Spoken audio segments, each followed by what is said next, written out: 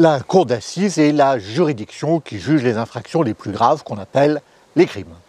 Il y a une cour d'assises par département et elle est installée dans le chef-lieu de département. Et ça, c'est valable pour tous les départements français, sauf un, les Charentes-Maritimes. En effet, le chef-lieu de ce département est La Rochelle, alors que la cour d'assises des Charentes-Maritimes est installée à Sainte.